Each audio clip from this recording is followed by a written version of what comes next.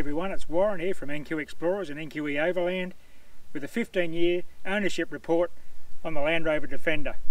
Let's get into it.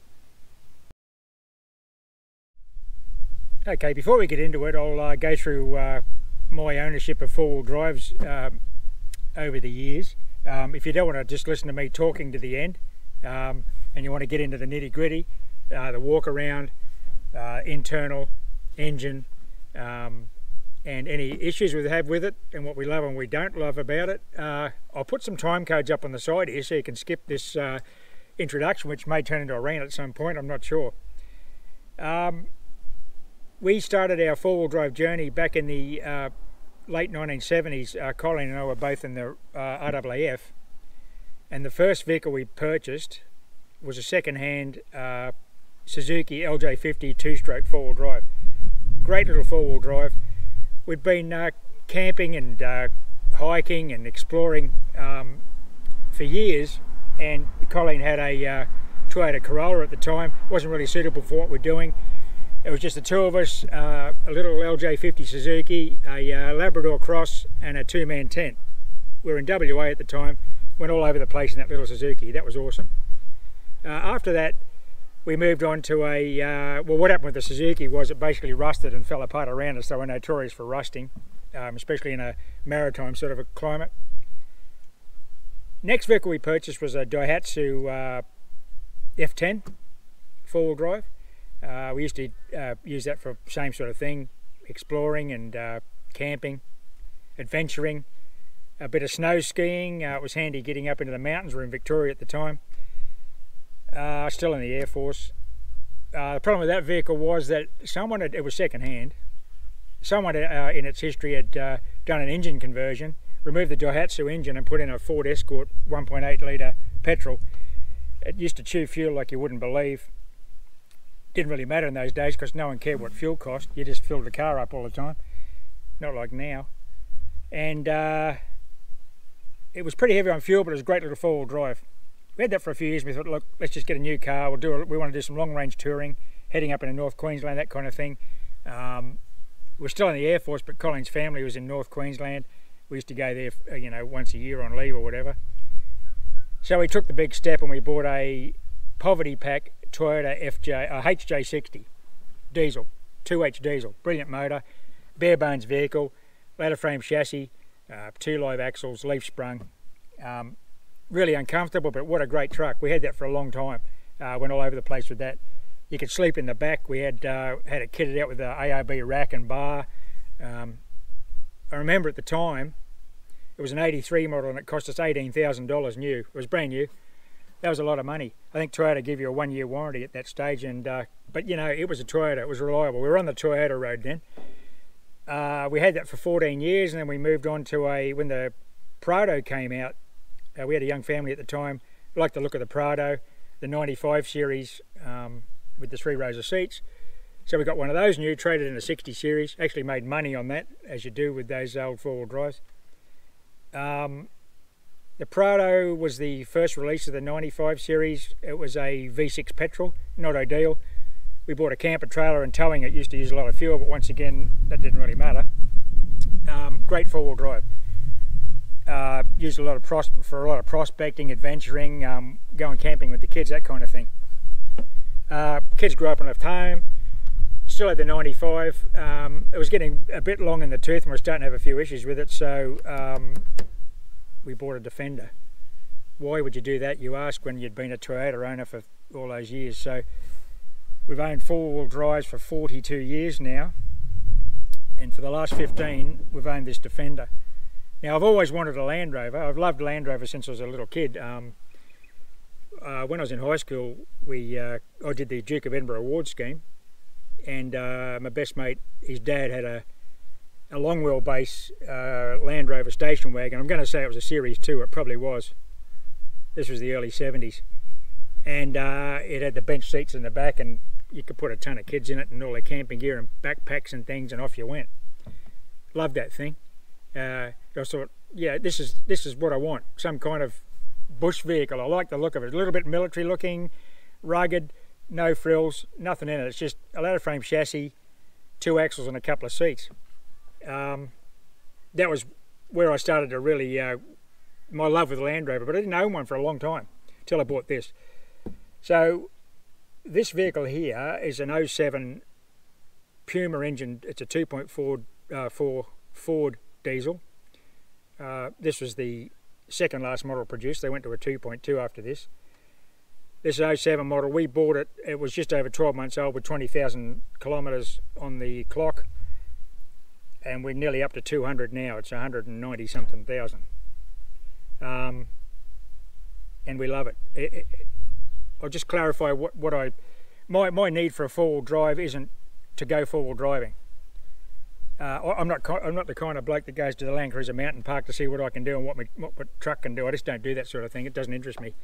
I love four-wheel driving, but I, there's a, always a purpose to it.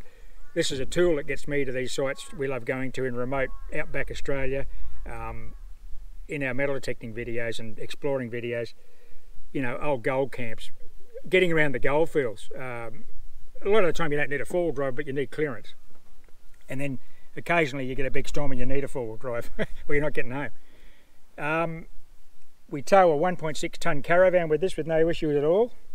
Um, Defender's rated to 3.5 tonnes, but I just like the feel of a ladder frame chassis that's bolted to a tow bar, two live axles. It's got coil springs. I've had them upgraded, but I'll show you that in a minute. And uh, as far as reliability goes with this diesel, we've had one issue in 15 years. One issue.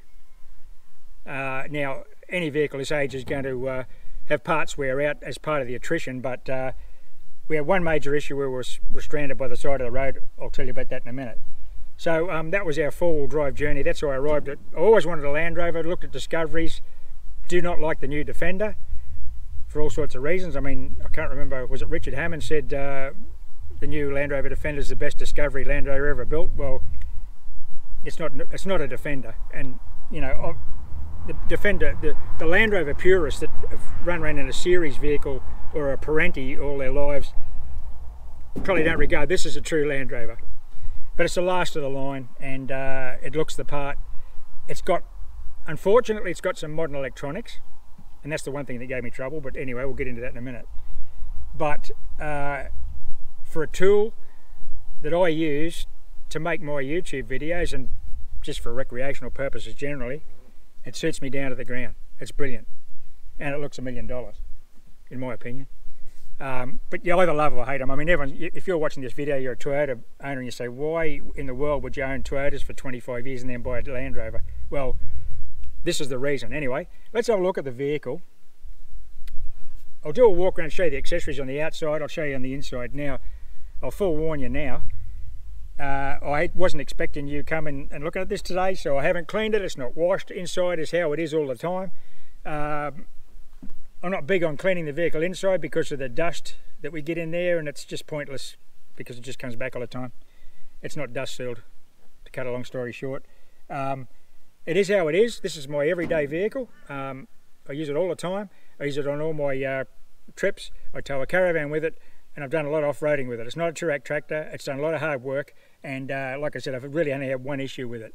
Let's have a look at the vehicle. We'll do an outside walk around, I'll look at the accessories, and I'll show you the inside, then we'll have a look in the engine bay, and we'll talk about some of the uh, issues you might have and the things that I've had to replace. Okay, there she is. It's 07 uh, Defender Puma, as they call them, because it's the Ford Puma engine. Uh, 2.4 litre common rail diesel with uh, turbocharger and intercooler.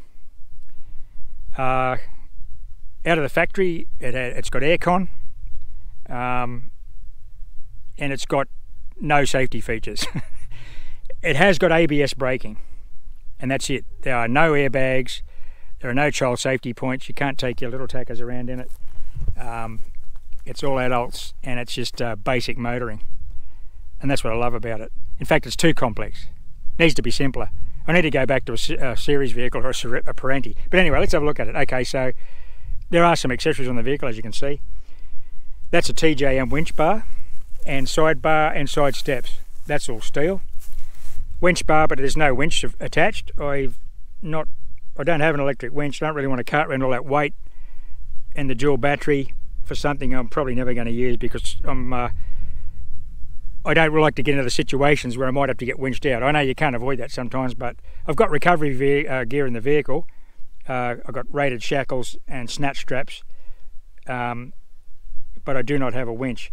For years I've been looking at uh, buying a, a Tirfor a come along sort of winch, but I haven't got round to it. To be honest, I've never really got stuck in the vehicle where I'd need to be winched out. I usually turn around and go home long before that happens. Like I said, I'm not a four-wheel drive for the sake of it. Let's see if we can get through this mud puddle kind of situation. Okay, so we've got the TJM gear. It's got a safari snorkel. Uh, that roof rack is uh, is a four-wheel drive super center cheapie. Um, on this side I've got a 2x2 dune on the driver's side, a 2x2 dune awning. I think that's Anaconda. I've got that on sale. And on the passenger side where I'd normally sleep with the swag, I've got a uh, four-wheel drive Super Centre 2.5 by 2 awning. So when the vehicle's set up in a camp without the caravan, there's plenty of uh, undercover. Now the suspension, uh, the suspension has been upgraded. I've got uh, a TJM uh, uh, shocks and springs. You can't really lift uh, these vehicles very much because of the. I think you've got to put extra joints in the in the front drive shaft, which I didn't do. So as you can see, I've got TJM uh, springs and shocks in there. Um, I've had them, they've probably done 150,000 kilometres. The original shocks were shot, so I, uh, it's, it's about a one inch lift. But really you don't need a lift to defender. Look at the, I mean look at that's, that's, that's pretty much factory, factory clearance you're looking at there. Um, up on the rack I've also got a a jerry can holder and that's got a ratchet strap. You can easily just carry water up, they're not fuel. Um, I haven't got any long range tanks, it's just standard at 75 litres I believe, the fuel capacity. Uh, we've got a uh, Hayman Reese bar, a tow bar.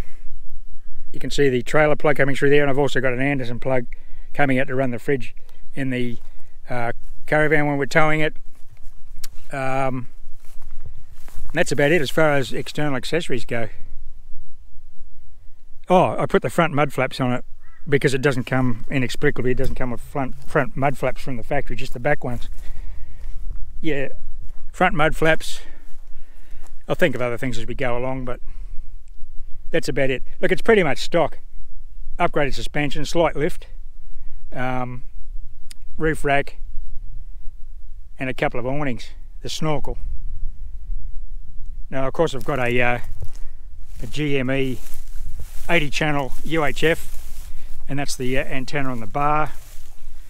Uh, I used to have a second phone booster antenna when we had CDMA phones, and phones worked a lot better in those days out in the bush like this, but uh, I haven't got around to buying a digital booster for our iPhones. So uh, we're actually worse off communications wise out west because there's just no uh, range on those digital phones. CDMA was a lot better, but anyway, that's uh, that's begin that's starting to become a rant, isn't it? And we've got a couple of I've got uh, ASP 100 watt halogen lamps. I haven't upgraded to any LEDs on there. I've got no LEDs on the vehicle except the number plate lamp. okay, well let's have a look inside of the vehicle and uh, we'll see what it looks like inside after 15 years of pretty hard use. Oh, actually, as a in addition to that last little walk around, you're going to notice the paint's peeling off the roof. Uh, not anywhere else on the vehicle. But uh, that paint shop must have been a Friday afternoon paint shop job. So all the paint, I'm back to bare metal. And uh, on these Pumas, they're not all aluminium. Most of it's aluminium, but the bonnet's steel, the back door's steel because of the weight of a spare tyre, and I believe the roof's steel. I could be wrong there. I should check that with a magnet, shouldn't I? Because it doesn't. It's it's there's no rust in the vehicle anywhere. It's 15 years old. There's not a spot of rust on it. But it, look, that's because mostly it's alloy. Um, quite a light vehicle for its size. It's 1.6 tons, I think, uh, empty. Right, let's have a look inside.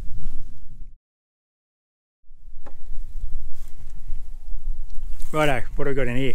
Accessories wise, I've got a steering wheel cover which needs replacing, obviously. Uh, issues I've had in here two issues really. One is that happens to all these defenders, the 07s. The gear knob just falls apart goes all sticky and the plastic cracks and I've got down to this stage now where you just got the shaft. You can buy replacements, but they're dear as poison. If you want to just put a knob on the top of it, you've got to re you got to machine a thread on it, I believe. I haven't done that yet. I've just put a, this uh, canvas cover on it, which suits me because usually I've got pretty dirty hands. okay, we've got a uh, GME 80 channel UHF. Okay, that's just a couple of cup holders there, which are always handy for your coffee. Uh, it's got electric windows in the front, no issues with that at all. Just wind down in the back.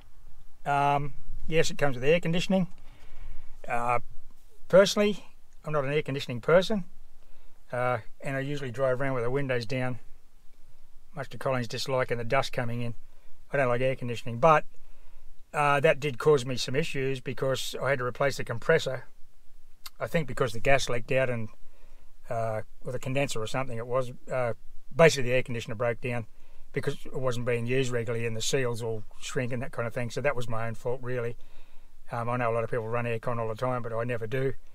Super has to be a super hot day for me to put the aircon on, but I'd still rather the breeze in the window. But that was one cost I had was uh, replacing the air conditioning compressor. It just broke down. I was just blowing hot air. We've got a Hayman Reese brake controller here. I mean that's required in Australia for uh, um, the electric brakes on the caravan, obviously, or anything, any uh, trailer over, I think 750 kilograms, but that varies uh, from state to state and transport department to transport department. Uh, yeah, a couple of cheapy dish mats, which I use all the time.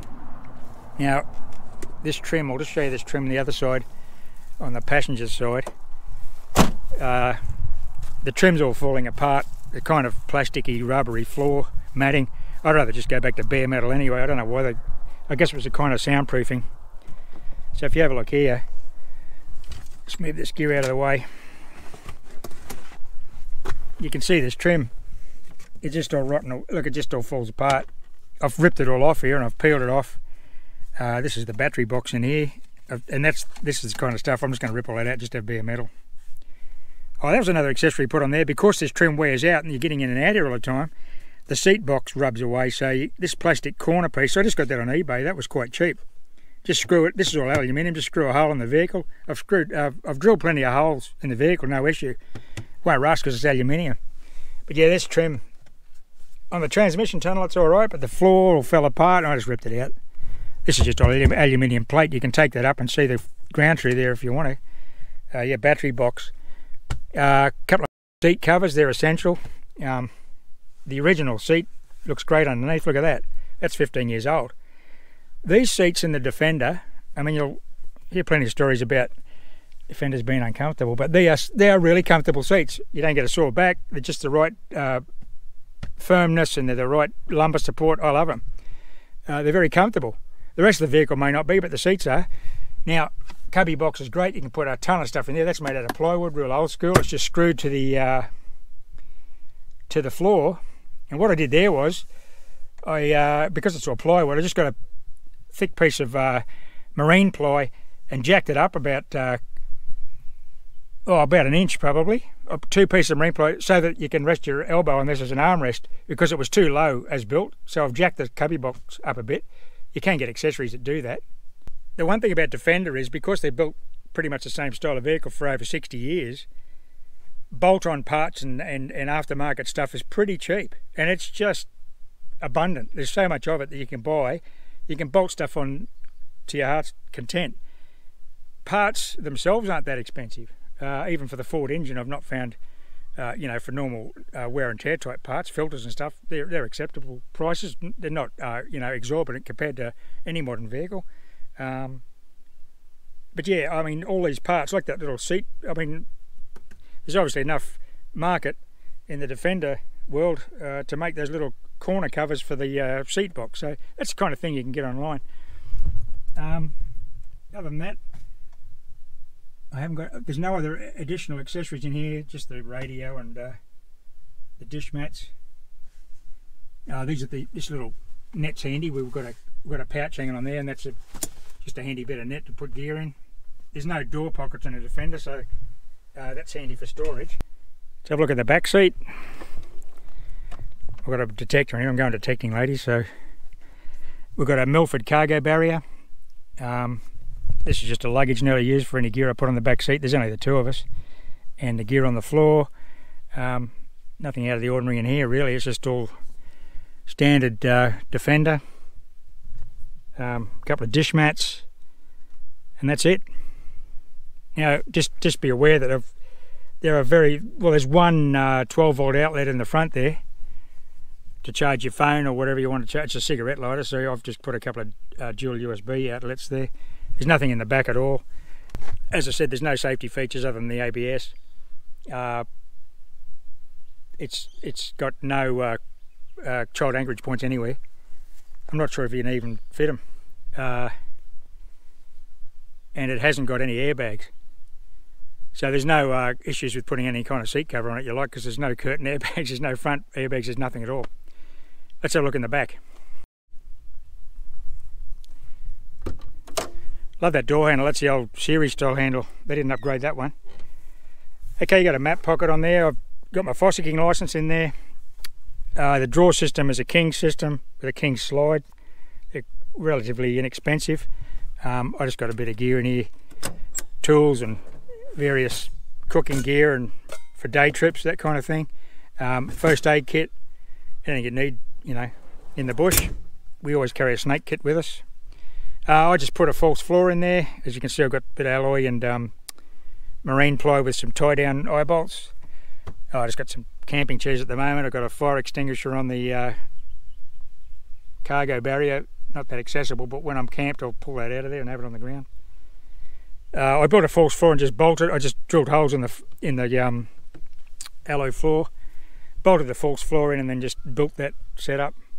You can buy uh, special draw systems for defenders, of course, but uh, this is just the cheap uh, King system, which I've had no trouble with. It's great. That's been to hell and back. It's been up way up in the conglomerates in the Palmer River, low range four wheel driving. It's been everywhere.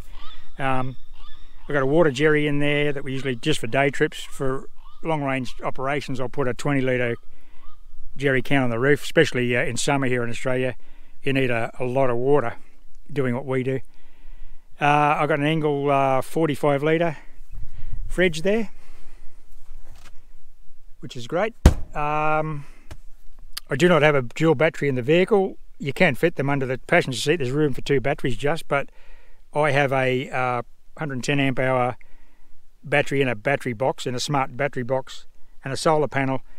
I just strap that in there with a ratchet strap to run the fridge, and I've got 150 watts of foldable solar. Um, so there's never any issues with the fridge. You're like in the hottest summer's day, you know, you got 45 degrees out here and the fridge is just purring along. And uh, with those solar panels, no trouble at all keeping the battery topped up. And of course you've got lights at night.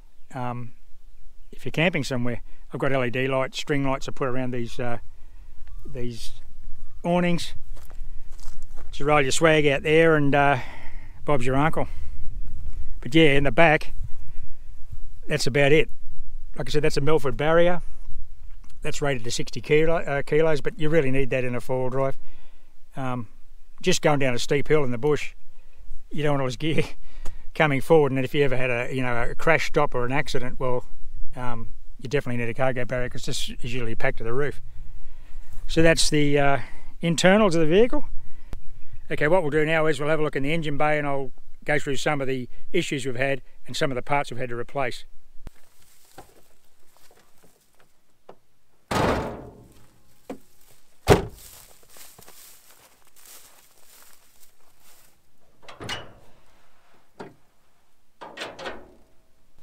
Let's have a look at the engine bay. Okay, we're in the engine bay. Um, let's have a look at some of the things that I've had to replace that haven't left me on the side of the road. This I've replaced this twice, that's the heater control valve. Very expensive to buy that from Land Rover, but you can actually get it on eBay as a Fiat part because it's identical. I think it's in a Fiat Ducato diesel um, because it leaked coolant. Very easy to replace, just DIY.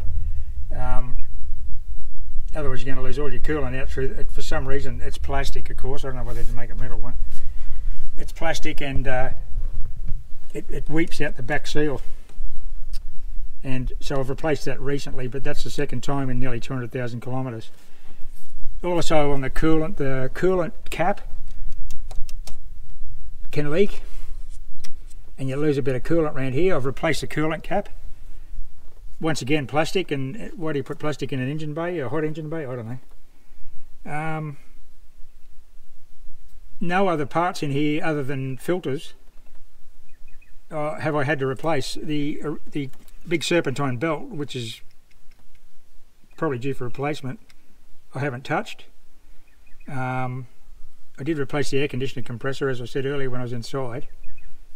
But the major item I had to replace, and the one, the most expensive part in the in the whole engine bay, was the computer, the ECU in the back there. I don't know if you can see it. I'll take a shot of that for you.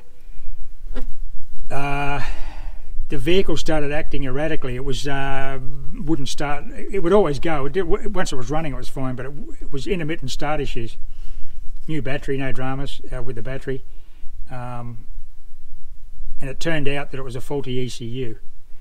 But it was one of those faults that were intermittent. You took it to a mechanic, and of course, it never plays up when you're in the mechanic's uh, bay he had an auto electrician looked at it and they did all the diagnostics and was found to be faulty. Now I believe that that ECU, the original 07 ECU was faulty from the factory because I did get an intermittent um, sensor fault on the uh, traction control on one of the wheels and there was no issue with the because the traction control was working but it was the I was getting a fault light inside saying you got a faulty sensor.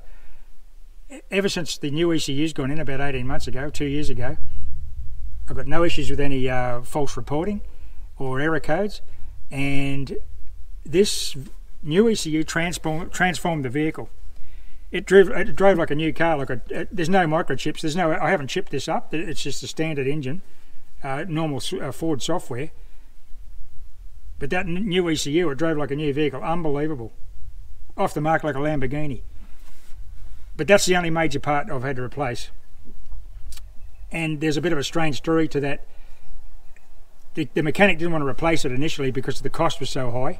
I think they're about $2,500 for the part plus fitting, and labour costs here in Australia are pretty high.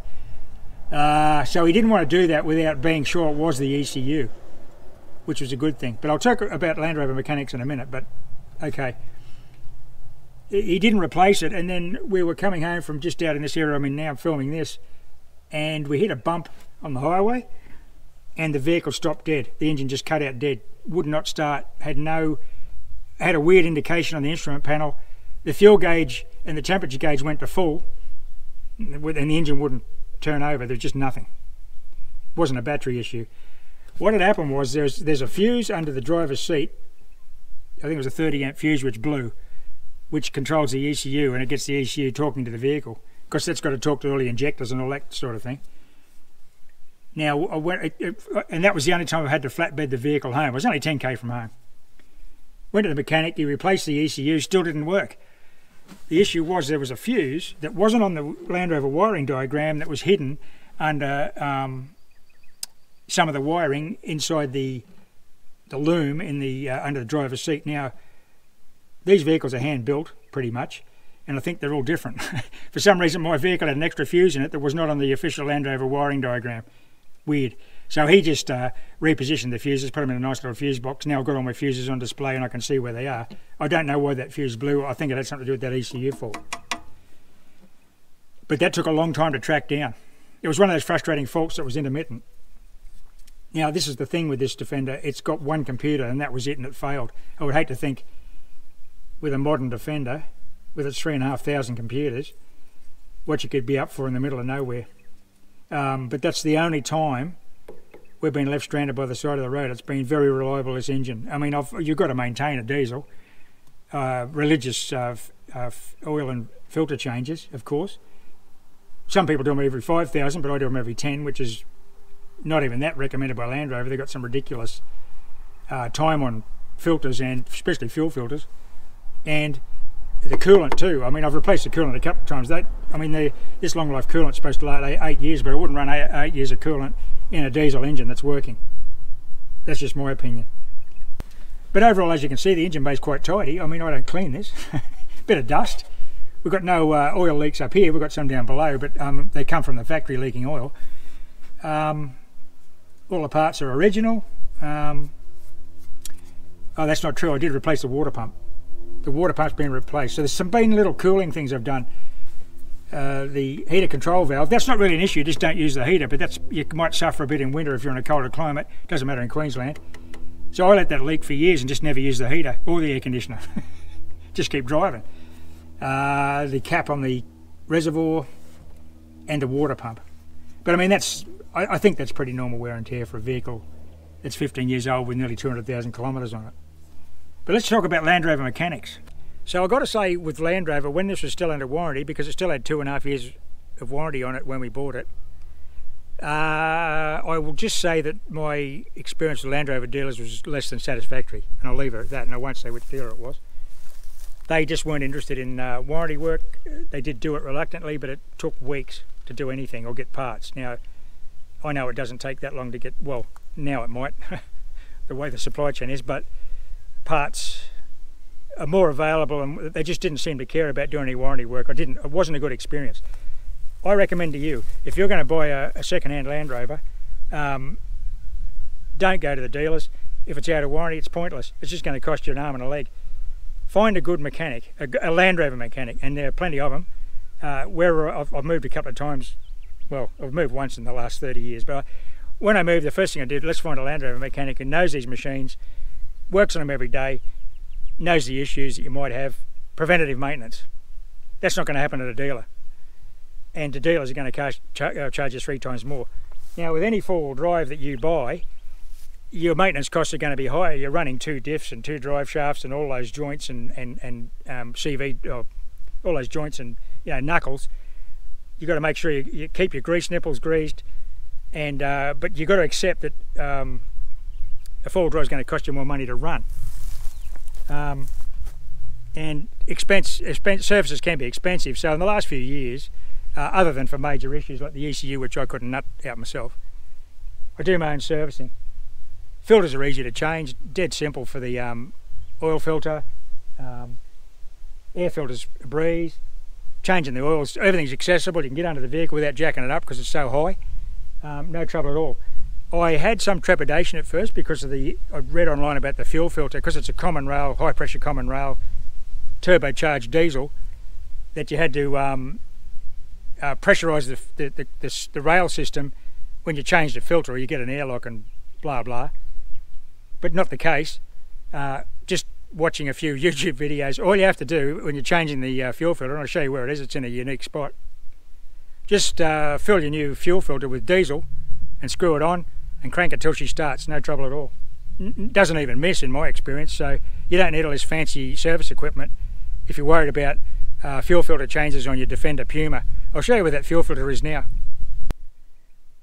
Okay, here's the fuel filter. It's in the rear driver's side wheel arch behind that armour plating. You can see it in there. That's the fuel filter. It's just got a little uh, keyway sort of uh, toggle. That comes off and swings open like a door. The filter's in there. You can see the fuel lines and the tanks in here. Uh, and it's sitting that way, like a cup. Just fill it with diesel, screw the new one on and crank her and away she goes. So that's the fuel filter location. Well protected from any uh, damage you might cop in the bush. And it's away, well away from the engine bay. So uh, it's a very easy change actually, the fuel filter. Okay, let's have a look underneath and see what's going on with the drivetrain. Okay, here we are underneath the vehicle. Now you can see I've got a couple of oil leaks, but they're minor. It doesn't take much oil to drip to look like a lot, but it, it I don't ever have to top the oil up other than at oil changes. The back of the engine and the transfer case joint have leaked since new. Uh, that was leaking under warranty, and Land Rover just believed that was an acceptable uh, limit for a new vehicle, but you know, that's Land Rover.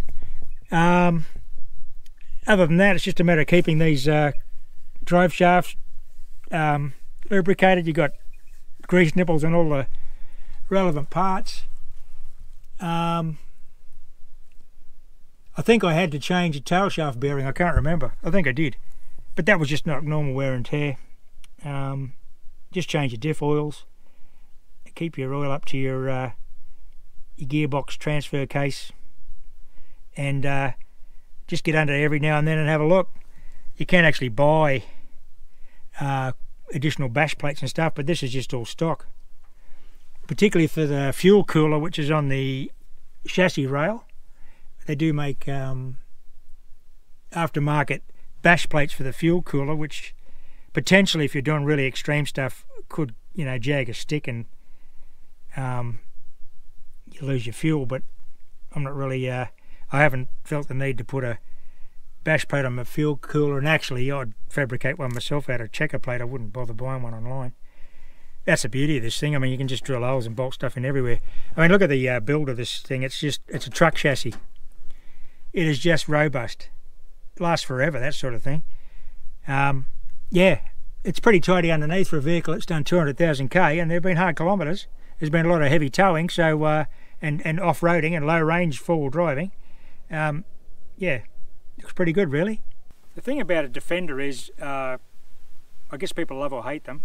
I don't think anyone denies it looks pretty good, but uh, you've got to have owned and driven a Defender to understand what it is to love a Defender.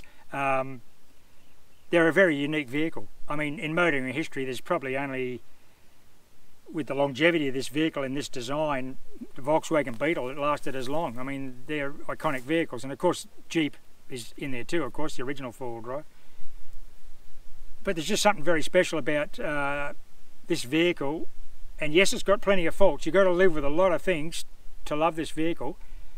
But once you can get past all that, they become a part of the relationship you've got with it. You listen to all the noises and the rattles and squeaks, and that's all fine.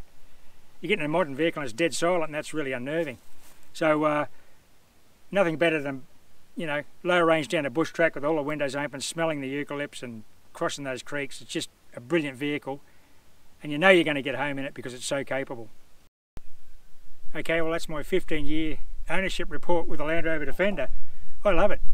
Uh, in all those 15 years, it's let me down once and I've had to get flatbed at home. Um, so reliability has not been an issue um, because I've kept that little diesel maintained.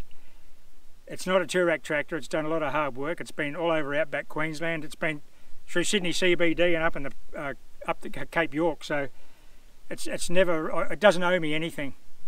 Um, I think the vehicle cost me forty-four thousand dollars when I bought it. I could probably get more for it now. Now don't forget these they stopped building Defenders, the 2.2 version of this, um, in 2016. So the newest Defender you can buy is six years old.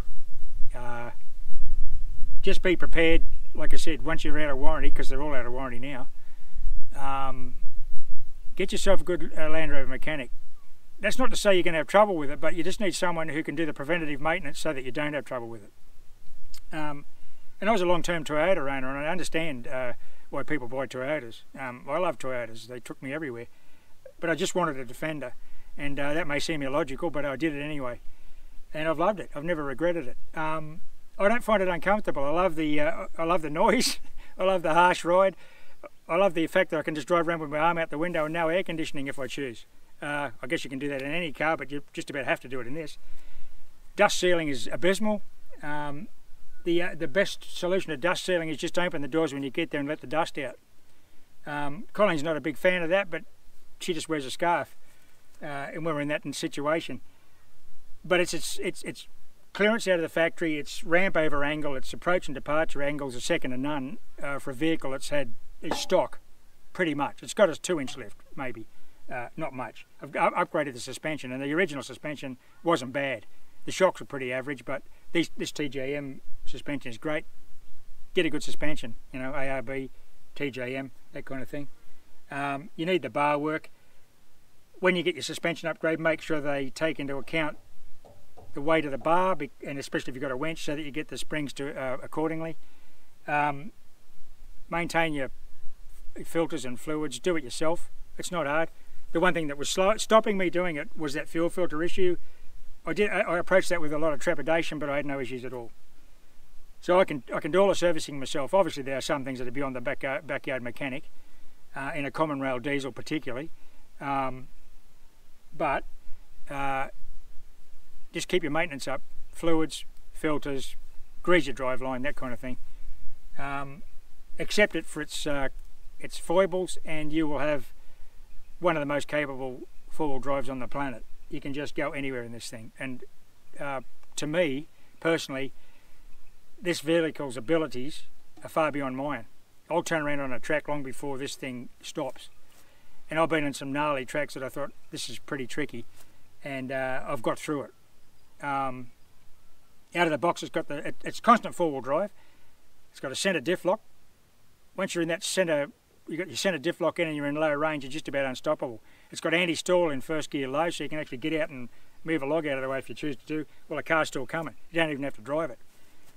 Uh, I wouldn't recommend doing that, but um, off-road it's second to none. Like I said, I don't use the vehicle for the sake of the four-wheel drive capability.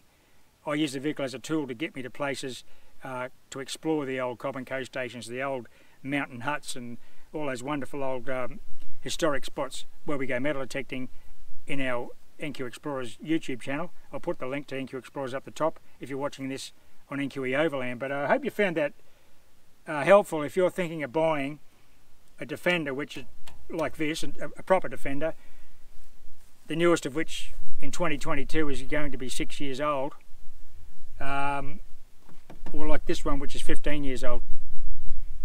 I've had no trouble with reliability. Um, I've had no trouble on any tracks that I've been on. Just you know, you've got to have a bit of experience, but just pick your line, and the car will do all the work. The ABS is very good. I don't really like. It's a bit unsettling with the the way the ABS works, but just let it do its thing. Um, you only get a manual gearbox. It's a six-speed manual. That's fine. I enjoy driving that. It's got a heavy clutch.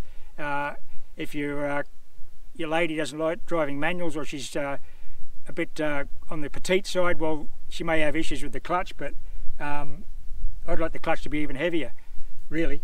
Um, I enjoy driving the manual. Uh, it's a great. The engine's well mated to the drivetrain. It's, it's, it just pulls like a tractor. It's great. So I hope that's been informative. If you've got any questions about uh, any issues I've had with the vehicle or anything about uh, defenders, these Puma defenders, please leave a comment below, and I definitely will uh, reply. And I appreciate you watching our video. Thanks for watching. I mean, this is motoring. I'm in sixth gear, uh, 100 kilometers an hour. I'm just pulling 2,000 revs on the engine. You can conduct a normal conversation in here. I mean, how quiet do you want it to be?